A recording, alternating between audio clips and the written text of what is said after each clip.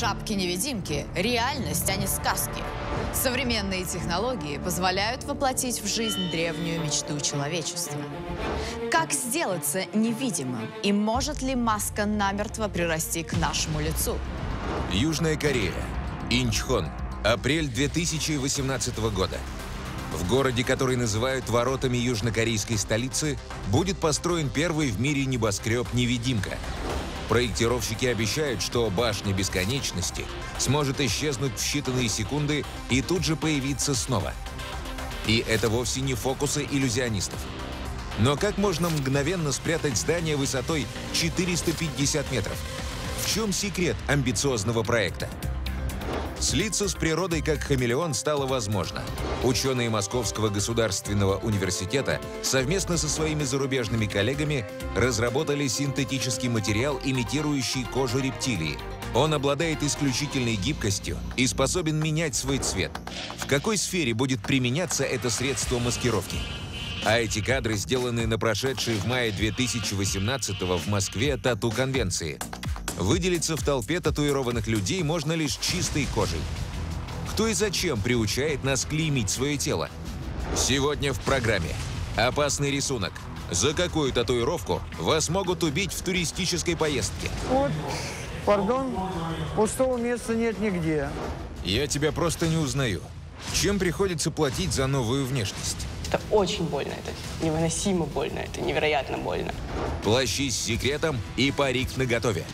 Признание агента КГБ под прикрытием. Наши поездки на явки, они выглядели как э, отъезд в отпуск. Человек-невидимка. Эксперимент программы «Тайный Чапман». А вы вот, вот этого молодого человека не узнаете, не видели?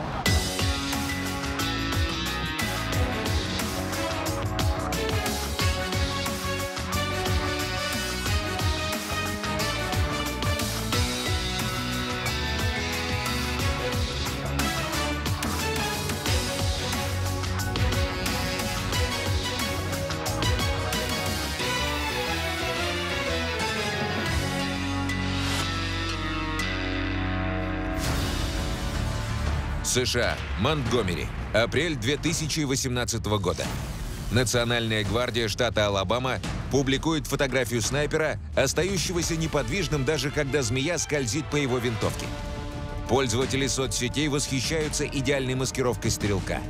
Профессионалы более сдержаны. Сложно представить, что этот снайпер сможет метко стрелять, если объектив его оптического прицела закрыт хвоей. Да и рептилия, ползущая по винтовке, оказалась не ядовитой.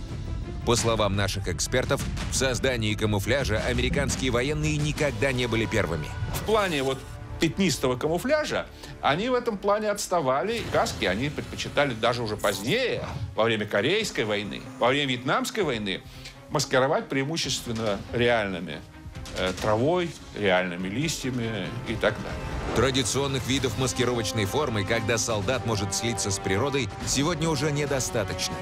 Новая боевая техника реагирует на тепло и безошибочно находит, где прячется противник. Разработкой камуфляжа занимаются лучшие ученые, используя высокие технологии. Ратник – боевая экипировка военнослужащего, используется в российской армии с 2014 года. Над ее созданием трудились десятки оборонных предприятий. Каждый год появляются новые, улучшенные модификации – когда человек одевает ратник, там, во-первых, снижается э, тепловая заметность специальная.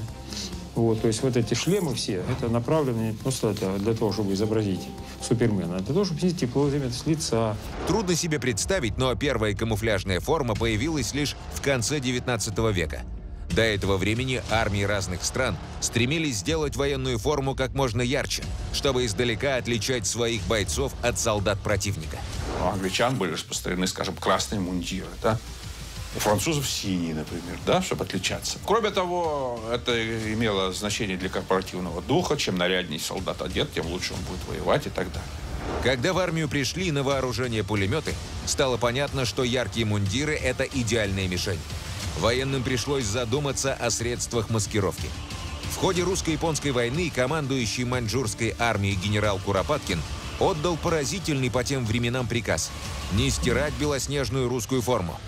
Соответственно, такая белая рубаха и белый китель, не будучи постиран, да, когда его потаскают по разным видам пересеченной местности, очень скоро свою белизну теряет. Или фуражка.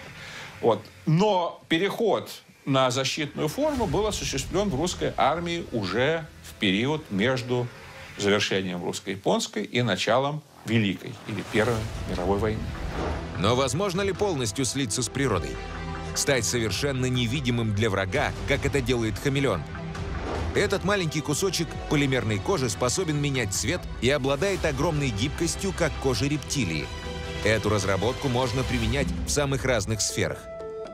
Вот здесь вот, к сожалению, кусочек небольшой, но видно, что он имеет голубоватый оттенок. Еще важно, что материал меняет цвет при растяжении точно так же, как вот я описал в коже хамелеончика. Наша задача стояла в том, чтобы показать принципиальную возможность создания материала, который будет себя вести с точки зрения механики, как живая ткань, и с точки зрения оптических свойств тоже как ткань. Военная сфера – это только небольшая часть жизни, в которой применяется маскировка. Ведь к ней прибегает каждый из нас осознанно или интуитивно. Я там, например, там смотрю на человека и вижу в нем то, что он хочет мне показать, потому что он говорит это мне своим образом, своим имиджем, своей одеждой, своей речью, а, своим взглядом. Вот самый очевидный пример. Косметика, казалось бы, призванная привлекать внимание, на самом деле тоже является средством маскировки. Недаром ее в шутку называют боевой раскраской – ведь маскировка имеет две цели – либо что-то скрыть, либо что-то сымитировать. Так устроено самой природой. Внешний вид может рассказать о личности человека гораздо больше, чем тот хочет открыть. Человек в деловом костюме и человек в свитере, а, там и с гитарой в руках, и тот, и другой несут да, какую-то информацию.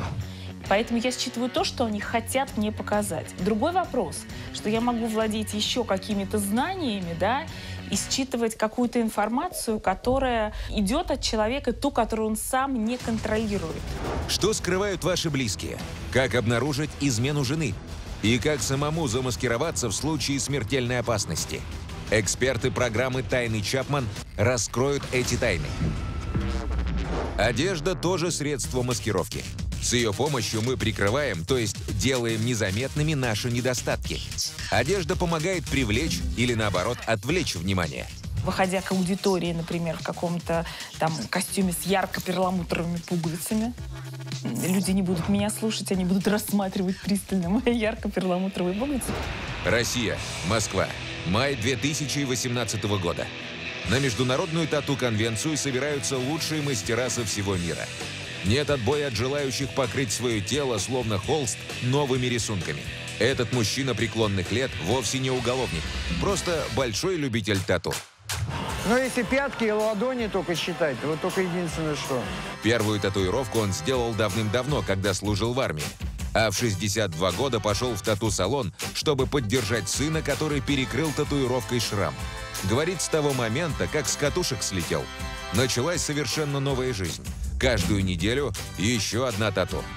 И вот, пардон, пустого места нет нигде. Есть фиги. Не, просто сделали под этой череп. Ну, два черепа делали. Я говорю, давай что-нибудь другое сделаем. Джо, дай фигу сделаем. Сделали фигу.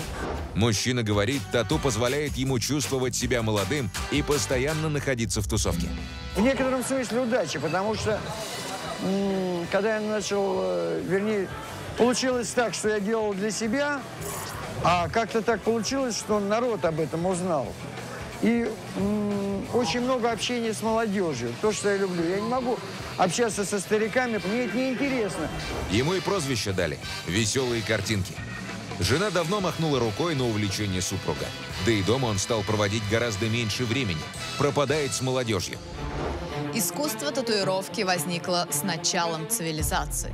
Свидетельство тому находки археологов, сделанные в раскопках египетских гробниц. Мумиям около 4000 лет, но рисунки на высохшей коже хорошо различимы. Татуировка – особая форма искусства, возникшая словно сама собой по всему свету. Тату наносили и древние викинги, и германцы, и славяне. Знали татуировку и китайцы, и японцы. Но кто и с какой целью научил людей на всех континентах делать татуировки?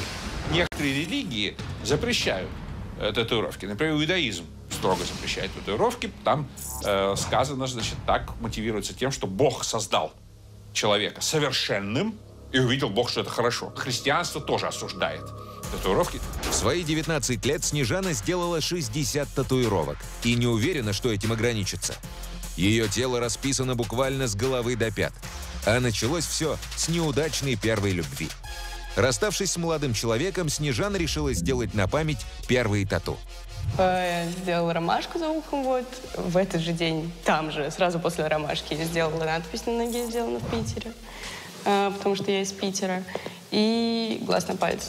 Родители, разумеется, были в шоке. Но остановить девушку уже не могли. На профессиональном жаргоне мастеров тату это называется «подсесть на чернила».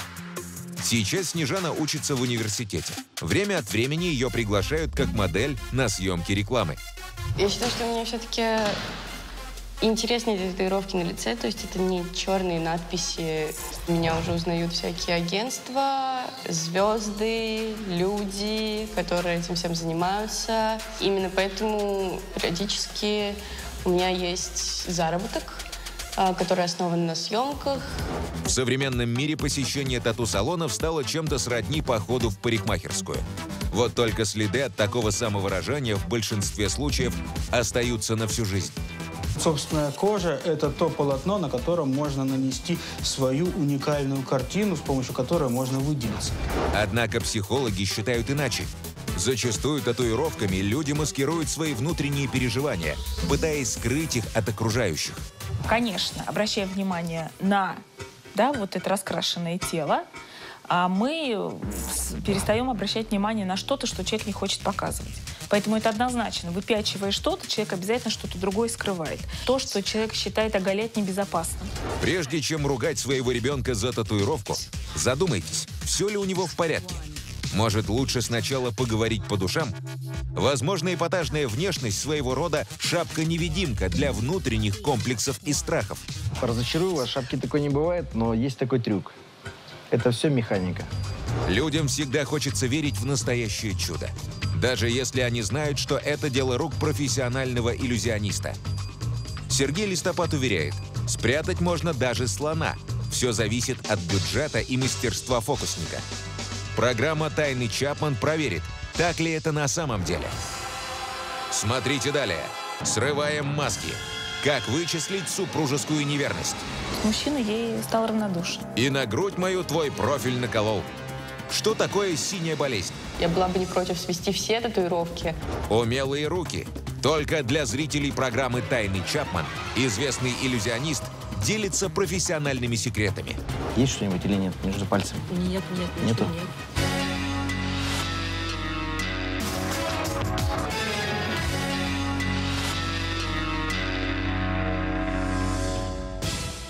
Профессиональный иллюзионист Сергей Листопад показывает фокусы прямо за столиком кафе, где проходит наша встреча. Он обещает сотворить чудеса из подручных материалов. Здрасте. Наш продюсер Елена настроена скептически. Выбирай любую салфетку. Давайте вот это. Бери. Хорошо. Касайтесь. А, вы не трогайте. Пожалуйста. Сергей просит скрутить салфетку в трубочку, А я семечки. Абдулла, поджигай. А дальше начинается самое интересное. Горящую салфетку я убираю в кулак. Дымит? Да. Видно, да? Будет чуть-чуть тепло, но руку не забирай, хорошо? Смотри. Прям со всех сторон смотри. Я тушу салфетку прямо у себя в кулаке, на твоей, на твоей ладошке. Вот так. Разверни, чтобы было видно. Сжимаю ее и медленно разжимаю. Расставь пальчики пошире. Проверь, пожалуйста, эту руку. Не, Есть что-нибудь или нет между пальцами? нет, нет, ничего Нету? нет. Ловкость рук и никакого мошенничества. Салфетка словно испарилась. Куда она исчезла? Мастер не раскрывает своих профессиональных секретов. За эпатажной внешностью Снежаны скрывается душевная боль. Каждый день, выходя из дома, она чувствует на себе осуждающие взгляды. Многие люди почему-то считают своим долгом подойти и отсчитать ее как ребенка. Одной из причин того, что я упала в глубокую депрессию, были, была реакция людей на татуировки, потому что я весьма адекватный человек, я учусь в самом престижном университете России, и Эй, ребята, за что? Я просто выгляжу так, как я хотела выглядеть, когда мне было 18 лет. Я сама страдаю от этого. Но почему же Снежана не в силах остановиться? Что заставляет ее делать новые татуировки? В чем магическая сила и злой рок нательных рисунков? Кто и зачем внедряет моду на тату? Узнаем совсем скоро. Настоящие ниндзя выглядели совсем не так, как показывают в голливудских фильмах. Ночью они облачались в одежду красновато-коричневых, пепельных или темно-серых оттенков. Именно эти цвета позволяли оставаться им незамеченными. А днем ниндзя одевали обычную одежду, чтобы слиться с толпой. С японского языка слово «ниндзя» переводится как «человек-тень». Точную историю возникновения кланов ниндзя не знает никто. Известно лишь, что их нанимали для шпионажа, диверсий и даже убийств. Ловкости и искусству маскировки ниндзя обучали с малых лет. Говорили даже, что эти люди обладали магическим даром перевоплощения в животных. На самом деле, у этих чудес простое объяснение. У них были специальные такие кастеты с когтями, имитировавшими тиг- э, тигриные когти. Чтобы создать впечатление, что непонятно, человек погиб от, от- от зверя. Да тогда еще в Японии еще тигры водились. Специальные техники позволяли ниндзя шпионить, долгое время находясь под водой, или убить человека одним лишь легким прикосновением и тут же слиться с толпой. Могли проглотить записку, которую нужно было доставить по назначению. И, пройдя все кордоны, их там обыскивали со всех сторон, ничего не нашли. Специальным натренированным движением гортани эту записку опять вытолкнуть и передать ее, да? О том, что человек принадлежит к клану ниндзя, не догадывались даже его соседи и знакомые. Как себя чувствуют люди, чья большая часть жизни проходит под маской? Когда человек выбирает э, этот профессиональный путь, человек очень четко понимает, что своя жизненная история может не сложиться. Много лет Светлана Туманова прожила на Западе. Сначала в Англии, потом в Германии. Она работала в разведывательном управлении армии США, а ее супруг был главным редактором русской службы «Радио Свобода». Многие считали, эти люди предали родину. На самом деле, Светлана вместе с покойным мужем Олегом Тумановым были агентами КГБ под прикрытием. Москва не могла упустить возможность воспользоваться вот, э, так- вот, таким подарком, который, скажем, им преподнесли американцы, наняв меня на работу. В повседневной жизни супруги себя ничем не выдавали, но в гардеробе появились двусторонние плащи, а в бардачке машины всегда наготове лежал парик и солнечные очки. Все наши поездки на явки, они выглядели как э, отъезд в отпуск. Мы из Мюнхена выезжали в Австрию на машине просто прогуляться в горах. Ни, ни у кого это не вызывало подозрения. Нас учили, конечно же, тоже во время уличных э, прогулок менять э, одежду на ходу. Программа «Тайный Чапман» проводит эксперимент. Мы попытаемся выяснить, какой именно образ позволит остаться незамеченным. Отправим спрашивать дорогу у прохожих нашего сотрудника, который будет менять внешность. Но для начала заглянем в фотоателье. Для черно-белой фотографии выберем ничем не примечательный образ. А вот с этой яркой деталью сделаем цветное фото. Итак, начинаем. Первый выход в ярком образе. Здравствуйте. Скажите, пожалуйста, улицу Усиевича как пройти, не подскажете? Туда, вот, да, вот так вот и налево, да? Спасибо большое. Хорошего дня. Так, как пройти к МАИ? Это туда, да? А теперь начинается самое интересное. Наш ассистент буквально через несколько минут подходит к тем же людям и показывает им цветное фото. Узнают ли они молодого человека? Хотел спросить, а вы вот молодого человека не видели? Здесь не... На Усиевича. Туда это туда? Простите, пожалуйста, а вы видели вот этого молодого человека? Где? Куда? Куда? Туда пошел. Получается, в реальной жизни яркий образ спецагентов, тиражируемый голливудскими фильмами, попросту не работает. Детали, будь то броские солнечные очки, бабочка или красный шарф, тут же врезаются в память. Ну а что насчет обычной повседневной одежды? Простите, пожалуйста, молодой человек, скажите, пожалуйста, а вы не знаете, вот здесь э, Московский автодорожный институт где находится? Не могли бы подсказать? Я думаю, вам нужно в ту сторону. В ту сторону, да? Вы уверены, да? Да, уверен. Спасибо большое. Здравствуйте. Молодой человек, скажите, пожалуйста, Московский автодорожный институт не подскажете, как пройти? Мои. Ну да, мои. Мои?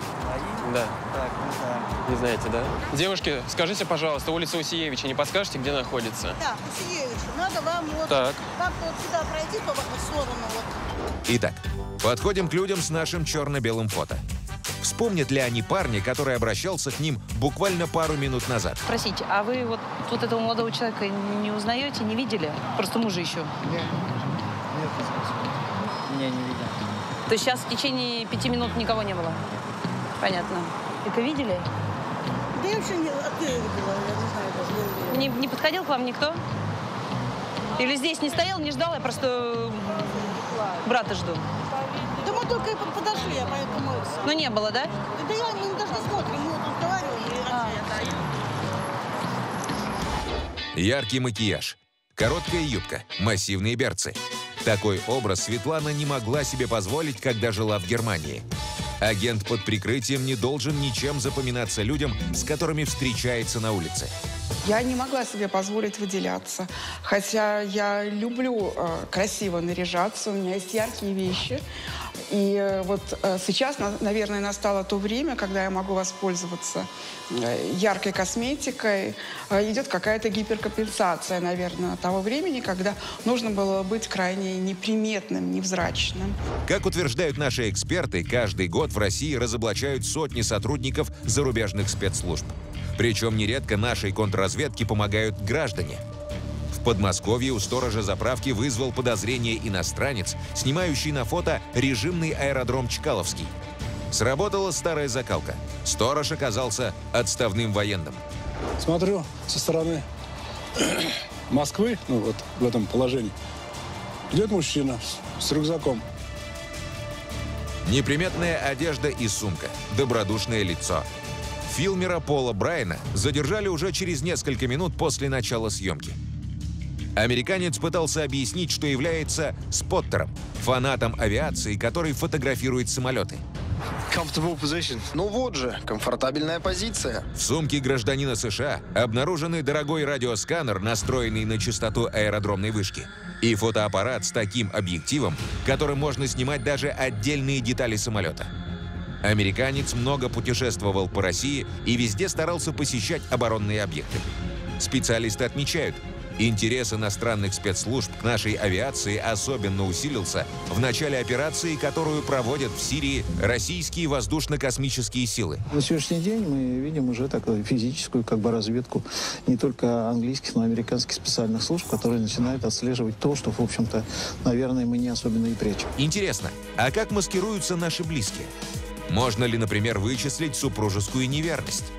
Специалисты помогут сорвать маски. Инструкцию по разоблачению смотрите прямо сейчас. Вы не можете нарадоваться на свою супругу. Ни с того ни с сего она перестала вас пилить по каждому поводу.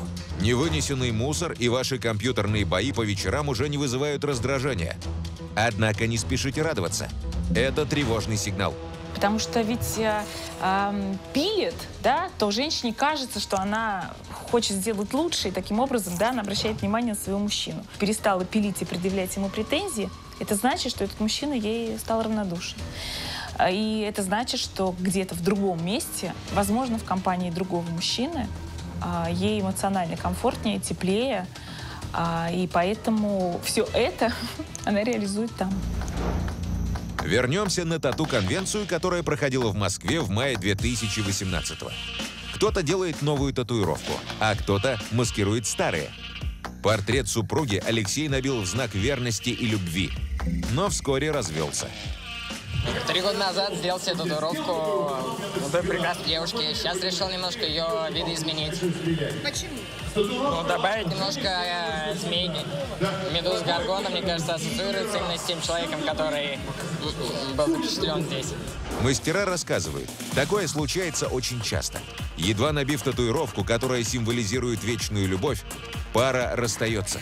Неужели в этом есть какой-то мистический смысл? Девушка себе сделала имя своего возлюбленного, а через месяцок где-то пришла сводить. А э, встречались они на тот момент лет 8, наверное. Вот она сделала и все. Как распознать, любят вас или ненавидят? И поможет ли маскировка радикально изменить жизнь? Узнаем совсем скоро. Рисунки, нанесенные на кожу, гарантируют магическую защиту в бою. Что это, языческие суеверия или тайные знания? Индейцы до Колумбовой Америки передавали эту традицию из поколения в поколение. Против завоевателей испанцев рисунки оказались бессильны. Известно, что в магическую силу боевой раскраски верили еще древние кельты. А воины, жившего в Новой Зеландии народом маори, делали татуировки, позволявшие распознавать их социальный статус. С развитием цивилизации татуировки стали наносить рабам и преступникам. Тату использовалось как клеймо, знак хозяина. Нередко клеймили солдат, чтобы те не перебегали на сторону противника. Эта традиция зародилась в Древнем Риме и практиковалась вплоть до 19 века. Петр Первый ввел это, так сказать. Почему староверы иногда говорили, что вот это антихристово клеймо ставят солдатам. Чтобы солдат не сбежал, там надрезали и порохом втирали, и, соответственно, потом бинтовали, и это дело оставалось. Вот. В Японии, совершившим первое преступление, на лоб наносили горизонтальную линию. За второе добавляли линию дугообразную, а за третье еще одну. В итоге получалась композиция, составляющая иероглиф «ину» — собака. Аналогичным образом, так сказать, клеймили на Руси, например, да, вор там, например, да, э, за преступление, значит, клеймом выжигали, правда, это были другие, это были раскаленные такие иглы на, на печати, и, так сказать, выжигали на лбу вор. Уже в 20 веке во время Первой мировой в Британии татуировкой «Ди» метили дезертиров. В нацистской Германии набивали номера узникам концлагерей. По сути, это продолжение все тех же древних традиций. Татуировка как отметина, которой всесильный хозяин обозначает то, что ему принадлежит. Сам процесс нанесения тату был своего рода добровольным кровавым жертвоприношением. Это было обставлено массой ритуалов, которые в искаженной форме потом перешли и в ритуалы масонских лож, других инициатических организаций, когда человек лежит в гробу там, и так далее, с черепом, с костями. И в знак этого, например, человеку давали новое имя. Соответственно, на него наносили изображение, так сказать, вот того животного или того божества на более высоком уровне, в честь которого он назван. В Откровении Иоанна Богослова говорится о начертании зверя, печати Антихриста, которая будет положена на руку или на лоб всем людям.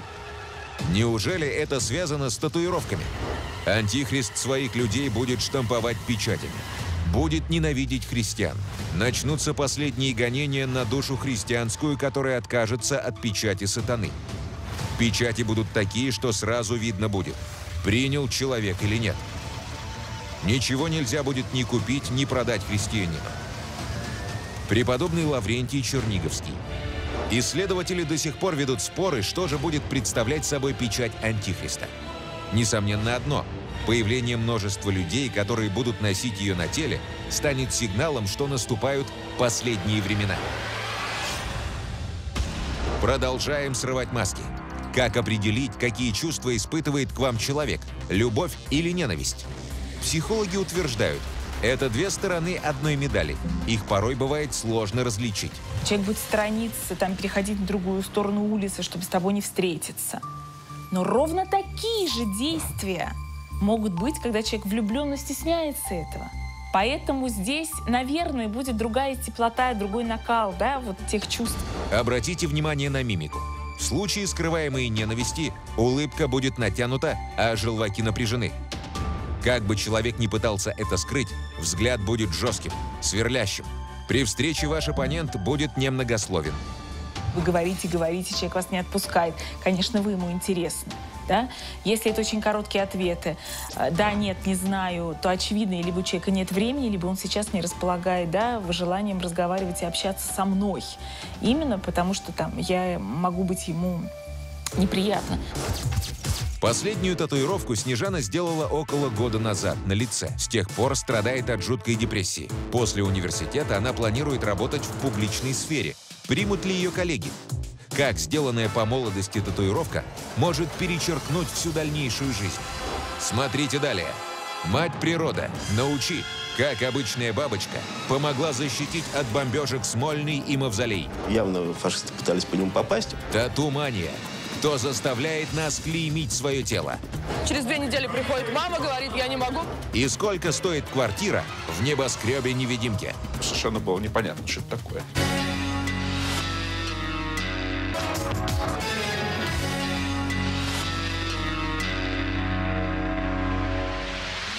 Чтобы вывести краску из-под кожи, Снежана уже прошла 4 мучительных сеанса.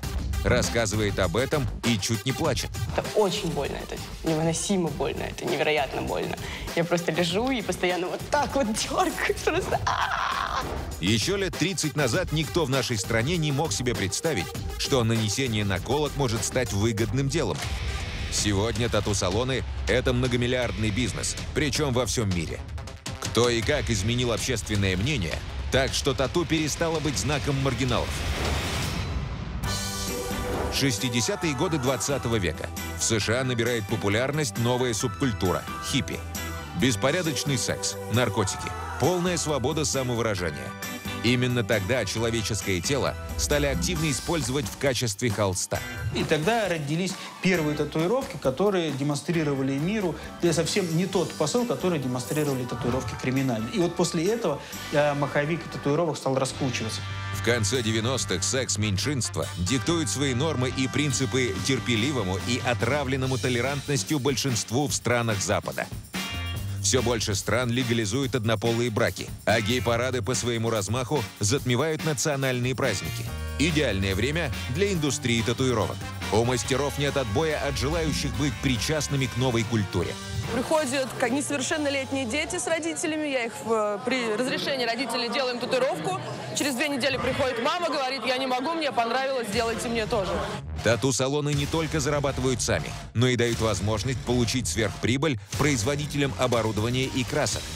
Одновременно расцветает новый бизнес по сведению татуировок. Причем деньги от разукрашивания и последующей очистки кожи стекаются в один карман. Это одни и те же личности, которые, собственно говоря, вы взращиваете свой рынок. Когда вы наносите татуировку, вы понимаете, что через какое-то время вам придется ее сводить. Так почему бы не сделать себе э, дополнительный доход через несколько там, лет?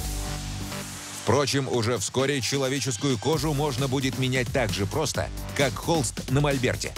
На эту разработку ученых вдохновила кожа хамелеона. И это не единственный случай, когда природа подсказывает человеку гениальное техническое решение. Ложные конструкции. Их строили в годы Великой Отечественной войны, чтобы защитить стратегически важные объекты. Во время налетов вражеской авиации на основном объекте освещение выключали своевременно, а на ложном с небольшой задержкой. Уже в первые месяцы войны стратегические объекты начали маскировать под жилые здания и лесопарковые массивы. Фашистские летчики не могли их обнаружить.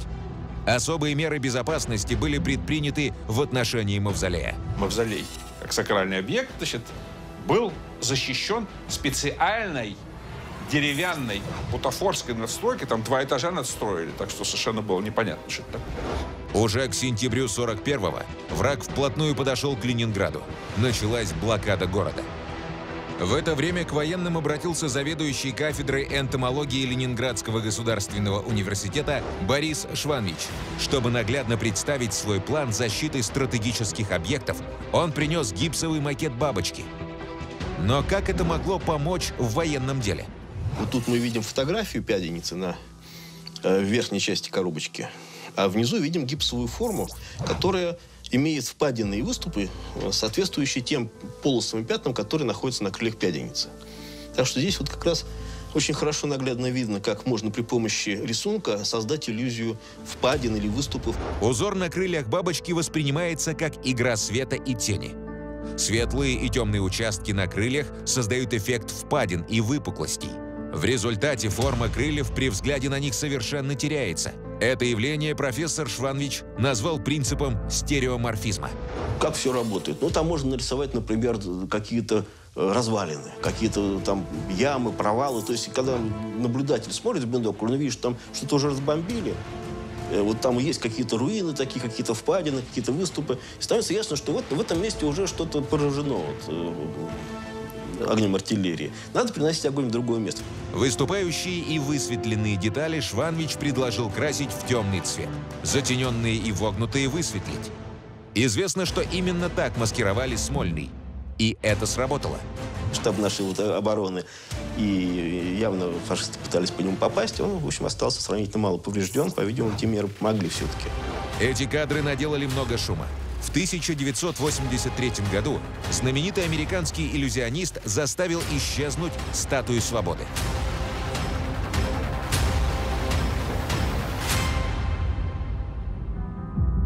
Но как ему это удалось?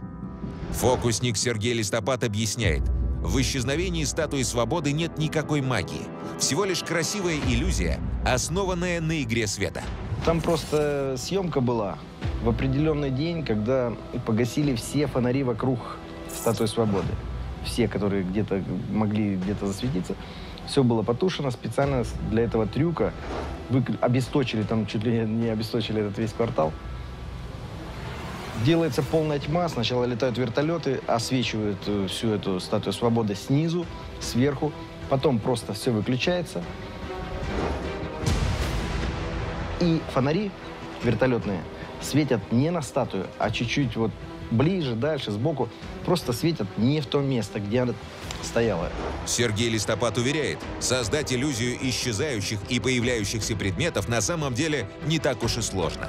Смотри внимательно, выигрыш обязательно. Пустой не бери, полный бери. Полный возьмешь, в ресторан пойдешь. На открытых ладонях. Сколько в игре шариков у нас? Две. Два. Два. У меня в руках ничего. Ничего. Правильно? Смотри внимательно. Мои руки быстрее твоих глаз. Один шарик я забираю себе, один отдаю тебе. Крепко зажимаешь? Крепко. Сколько в игре шариков? Ну, два было. У меня не одного, а два у тебя. Блин! А это уже не фокусы. В южнокорейском городе Инчхон будет построен невидимый небоскреб «Башня бесконечности». Его высота 450 метров. Создатели небоскреба планируют добиться эффекта невидимости за счет использования оптических видеокамер и дисплеев на фасаде. Камеры будут снимать то, что находится позади небоскреба, и транслировать изображение на его стены. Это создаст впечатление, что вы смотрите сквозь здание или вовсе не видите его. А вот пассажиры взлетающих в небо лайнеров, рядом расположен аэропорт, вряд ли смогут не заметить огромную башню. Смотрите далее. Ничего не вижу. Что такое ослепляющий камуфляж? Таким образом, избивали с тока. Как сербам удавалось обманывать новейшую американскую технику? Ракета американская «Хармов» охотно шла на вот такие вот э, печки. И под кого маскируются самозванцы нашего времени? Это как раз вот та самая маскировка, да, а, которую знает животный мир.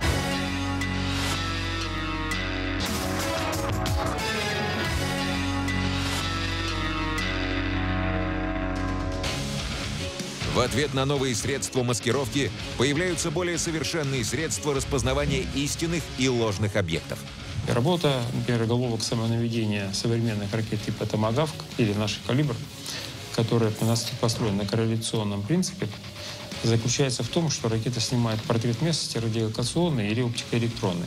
Чтобы отвести удар от стратегически важного объекта, ставятся специальные отражатели или оптико-электронные конструкции, которые искажают картину местности.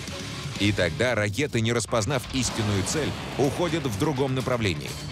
Бывают случаи, когда вместо дорогостоящей техники используют электробытовые приборы. Во время боевых действий в Югославии отвести врага от зенитно-ракетных позиций помогали обычные микроволновки. Частота работы вот этой печки близка была по спектру к работе радиолокационных станций наведения ракет.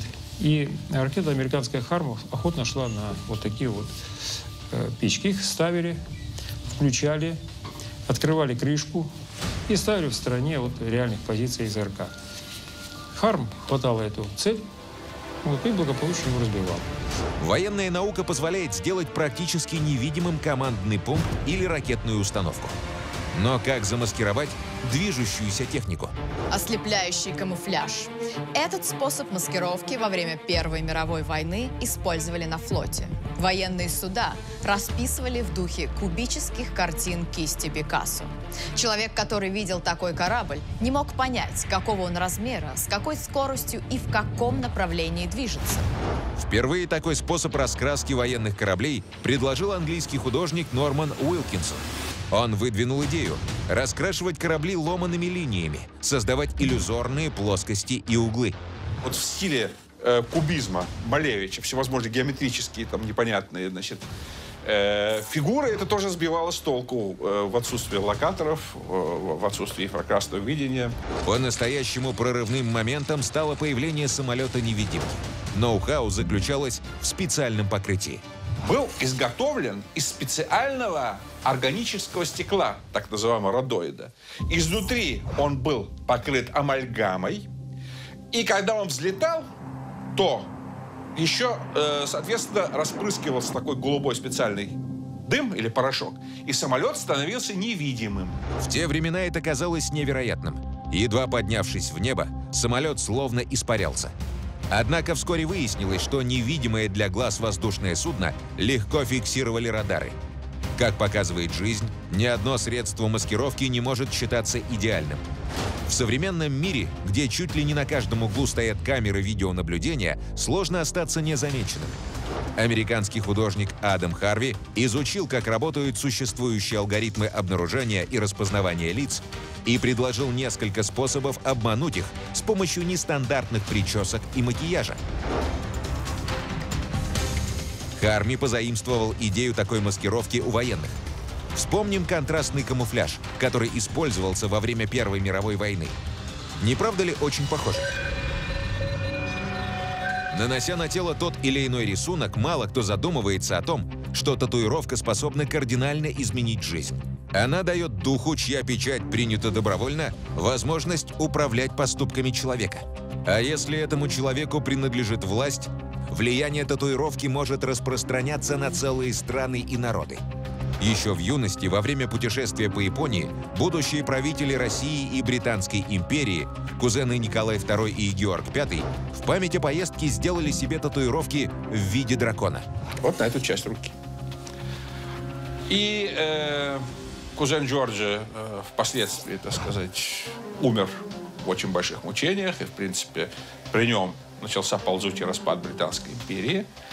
А что случилось с императором Николаем II? Страшная смерть вместе с семьей тоже совершенно, так сказать, понятно. Отправляясь в путешествие, многие люди и не подозревают о том, что за нательный рисунок они могут поплатиться жизнью. Ведь в криминальном мире многие татуировки несут определенную информацию о человеке, который набил их на свое тело. Это были татуировки, благодаря которым люди из криминальных структур могли друг друга узнать, но в середине прошлого века началась некая романтизация татуировок. Если человек, не имея на то права, нанесет себе татуировку, обозначающую высокое положение в преступной иерархии, рано или поздно может возникнуть ситуация, когда за тату придется отвечать. А ведь в разных культурах один и тот же образ может иметь разные значения. Например, у японских якудза изображение дракона или тигра наносят только главе клана или члену его семьи. Не раз случалось, что европеец, сделавший татуировку в виде дракона, поехал как турист в страну восходящего солнца и после какого-то мелкого инцидента попал в полицию. Проведя пару часов в камере с местными уголовниками, он становился калекой, а иногда даже лишался жизни. Трагедия любви или сатира на высшее общество. Пьесу Лермонтова «Маскарад» царская цензура почти 20 лет не пускала на сцену. Возможно, причина в том, что в основу произведения положено реальное происшествие. Спрятав лицо под маской, люди света могли свободно предаваться любовным страстям. История маскарадов уходит своими корнями в глубокое прошлое.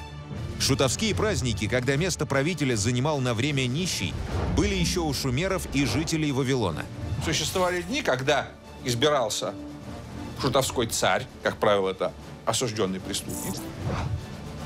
Настоящий царь на это время уходил в тень.